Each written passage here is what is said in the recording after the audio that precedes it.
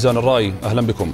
عشية الجلسة المرتقبة للمحكمة الدستورية والتي من المقرر أن تشهد النظر بالطعن المقدم بمرسوم الصوت الواحد.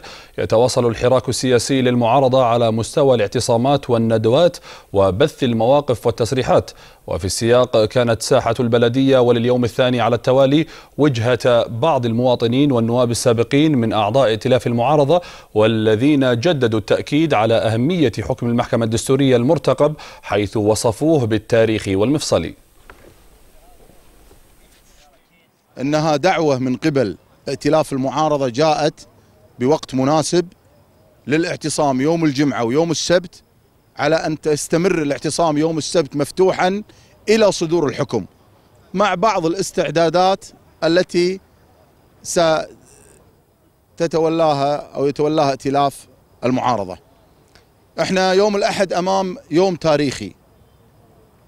وحنا نعتقد بأن هذه الحكومة اللي ذهبت يوم من الأيام إلى المحكمة الدستورية لتأخذ رأيا عن سلامة القانون 42 لسنة 2006 وجاء حكم المحكمة الدستورية ليقول لهذه الحكومة التي لا تسمع ولا تفقه ولا تقرأ أن القانون 42 لسنة 2006 هو قانون يتفق وصحيح الدستور. أنا أعتقد بأنها مسؤولية تاريخية ومسؤولية سياسية ومسؤولية أخلاقية ومسؤولية وطنية وأمانة ثقيلة حقيقة على كل أعضاء المحكمة الدستورية اللي سينطقون بالحكم يوم الأحد. الشعب الكويتي يترقب.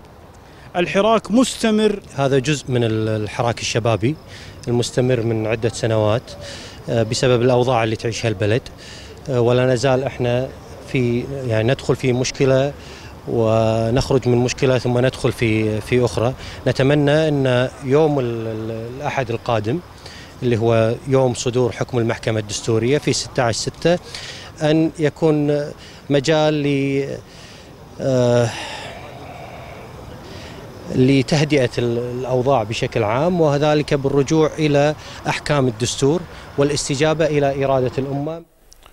وقبيل ساعات من إعلان الحكم المرتقب أكد عضو مجلس الأمة النائب عدنان المطوع إيمانه المطلق بنزاهة الحكم قبل صدوره مشيرا إلى فاعلية نظام الصوت الواحد ومطالبا بالعمل به في كافة الانتخابات التي تحصل في البلاد وعلى مختلف المستويات.